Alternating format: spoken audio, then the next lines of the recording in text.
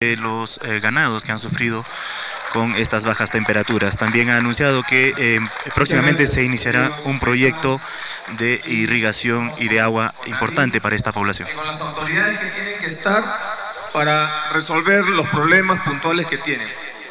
Y me da mucho gusto venir aquí nuevamente a Oyolo, es la tierra de, mi familia, la tierra que, de la cual hemos salido y ahora vengo como presidente de la República a trabajar por el Perú y también ponerle atención a Oyolo, a Colta, a todos los distritos de Paucar del Sarazara, a Parinacochas y Ayacucho. Entonces, ya hemos empezado con los programas sociales de Pensión 65, Cuna Más, Beca 18, creo que hay un, hay un joven que ha ganado la beca 18 acá, y vamos a impulsarlo más. Está Mónica, nuestra ministra de Desarrollo e Inclusión Social, está el ministro de Agricultura, que ya tomó nota de los proyectos y de lo que ha dicho su alcalde en lo que es maquinaria para mejorar la agricultura y vencer al Kikuyo. Vamos, ya le he dado el encargo ahorita al ministro Milton para que vea cómo hacemos esto.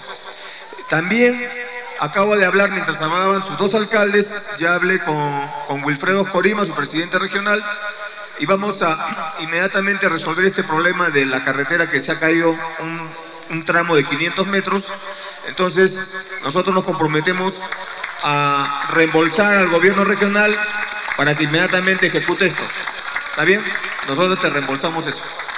Y también la conectividad que requiere la provincia del Paucar del Sarazara para que se pueda conectar no solamente a Coracora, para que pueda salir hacia eh, Chala o Yauca, sino también para salir hacia Cotahuasi y poder bajar Chuquibamba y poder bajar Arequipa.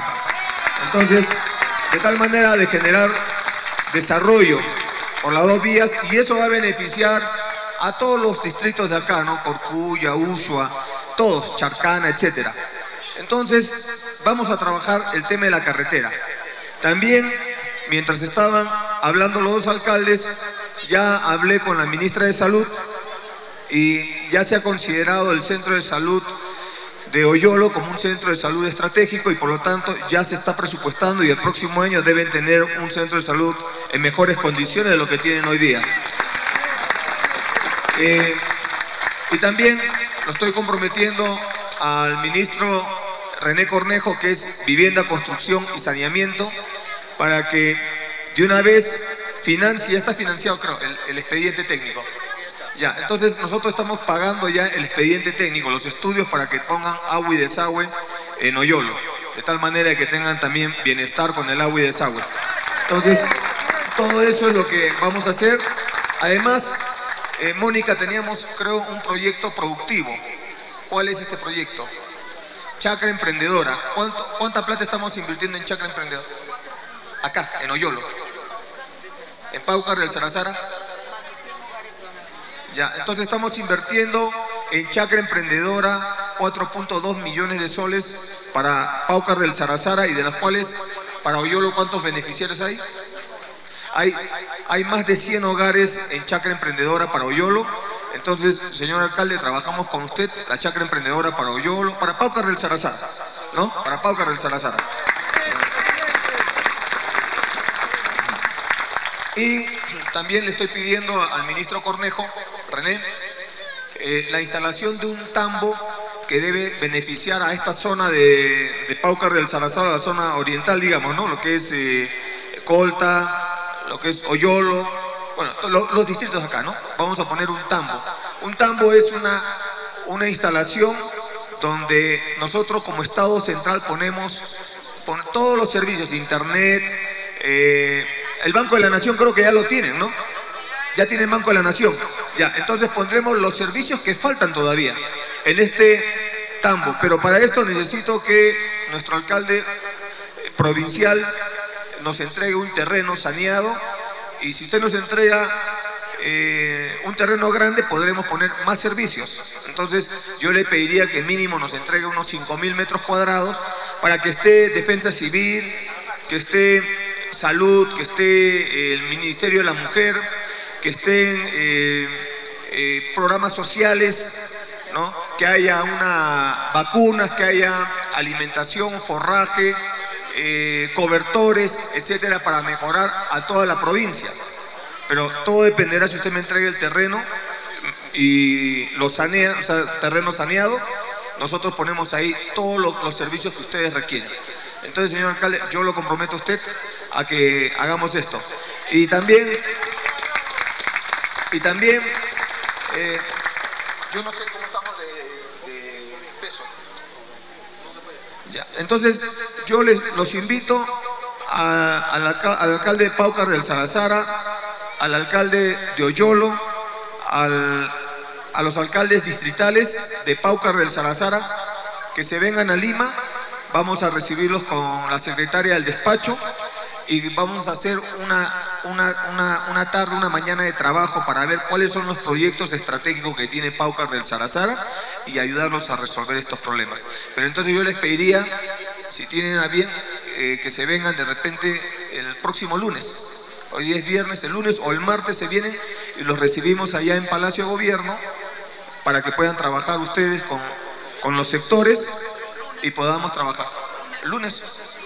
Ya, entonces yo los invito a sus alcaldes de Pau Carrel Salazara para que el día lunes o el día martes, como lo quieran ustedes, vayan a Lima, los va a recibir la secretaria de mi despacho ¿no? Yo los saludaré un momentito, pero van a trabajar con la secretaria de mi despacho, la secretaria de, la, Presidencia de la República, y a través de los sectores vamos a ayudarlos a resolver sus problemas. ¿Está bien, señor alcalde? Listo. Entonces, creo que con esto vamos avanzando más para que Paucar del Salazar sea una provincia pujante, una provincia productiva, una provincia en la cual podamos darle una mejor educación, una mejor esperanza de desarrollo a nuestros hijos. Yo creo que eso es fundamental. Por eso quiero que en esta reunión con los alcaldes veamos proyectos también en, la consolidación del desarrollo educativo. La educación es fundamental, no me cansaré de decirles. Ustedes saben, ustedes conocen cuál es la casa de mi padre, de mis abuelos, y ellos, y tengo familia acá, ¿no? Pero gracias a una decisión de mi abuelo y mi abuela, gracias a una decisión de mis padres, tuve la suerte de estudiar y que mis padres estudien. Y estudiando ellos, ellos acumularon conocimiento y que permitieron que yo también pueda estudiar y haya acumulado conocimiento y hoy esté donde estoy parado. Entonces, si de Oyolo ha salido un presidente de la República, ha salido, salen autoridades, pueden salir más autoridades. La única, la única herramienta que van a tener para desarrollar es la educación, porque mis abuelos y mis padres vivieron acá y no había restaurante, no, no había estas construcciones de, ladrillo. ¿No? Era distinto, yo lo hace 80 años, hace 60 años era distinto, ¿no? Se dedicaban al arrieraje, ¿no? Llevando el cochayuyo y tantos productos de la costa y trayendo productos de las zonas de la Purímac, del Braen, recorriendo partes del Cusco, Chalhuanca, Talavera, etcétera. Esa era la chamba del hoyolino, ¿no? Arriero, ¿no? Así, así es nuestra raíz, ¿no?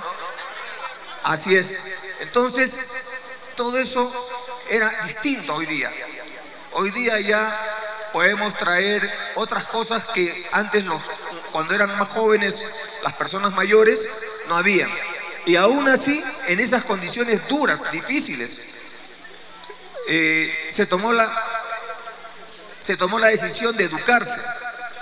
Y gracias a esa educación, hoy día yo puedo recibir la herencia, el fruto de lo que fue el esfuerzo de mis abuelos, mis bisabuelos, de don Teófilo, de doña María Sócrates, de, mi papá Isaac, ¿no?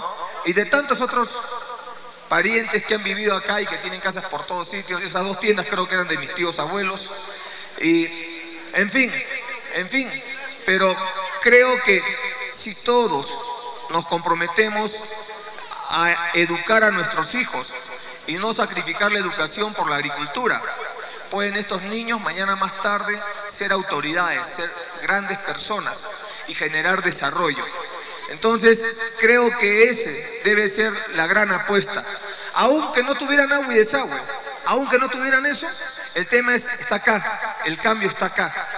Está en el desarrollo de la educación, en la capacidad de que no solo podamos recibir las cosas gratis, sino de que nos la ganemos con nuestro trabajo, porque eso consolida la dignidad, consolida el orgullo y el respeto, que es lo que necesitamos nosotros, la identidad, que nos haga sentirnos orgullosos de ser ayacuchanos y que nos haga sentir orgullosos de esta tierra bendita que ha traído la independencia del país, que ha traído grandes desarrollos, grandes proyectos al país.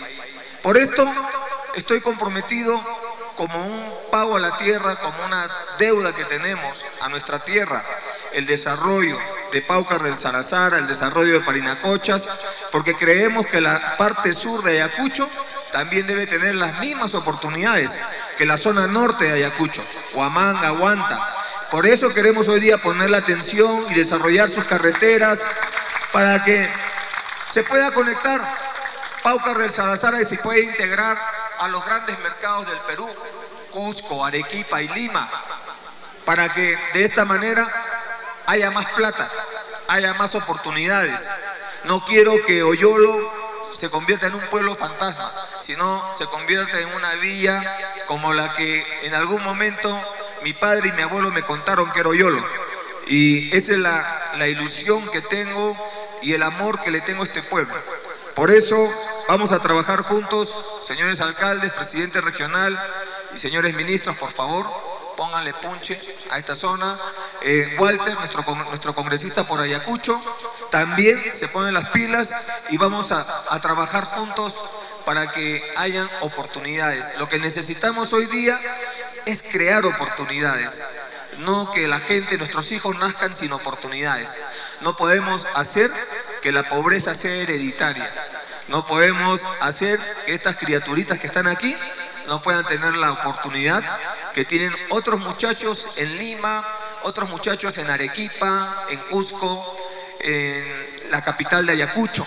Necesitamos darles también la oportunidad acá. Por eso estamos acá y por eso venimos acá, para, como presidente de la República, con Nadine, que también es de Paucar del Sarazara, que antes era parte de Parinacochas, venimos acá como un respeto a nuestra tierra, a la tierra de nuestros padres, a, don Ángel Heredia también, colteño, eh, y queremos decirles que no sé si habrán venido otros presidentes del Perú acá a Oyolo, pero seguiremos viniendo acá nosotros para ver que este pueblo se cultive como una, como una plantita, hay que cuidarla y particularmente a nuestros hijos, a nuestras hijas, que le demos todas las facilidades para que estudien. Ese es mi compromiso con Paucar del Sarazara, ese es mi compromiso con Oyolo, ese es mi compromiso con, con mi tierra, con mis ancestros, con la familia que tengo acá enterrada. Ese es mi compromiso con la sangre, con la sangre ayacuchana. Muchas gracias a todos ustedes. Que viva Oyolo, que viva Paucar del Sarazara, que viva Ayacucho y que viva el Perú. Muchas gracias.